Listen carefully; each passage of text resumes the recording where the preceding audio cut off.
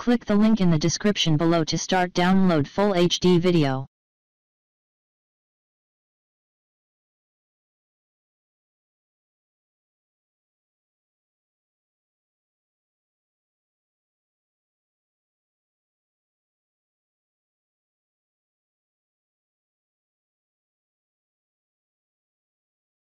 Click the link in the description below to start download full HD video.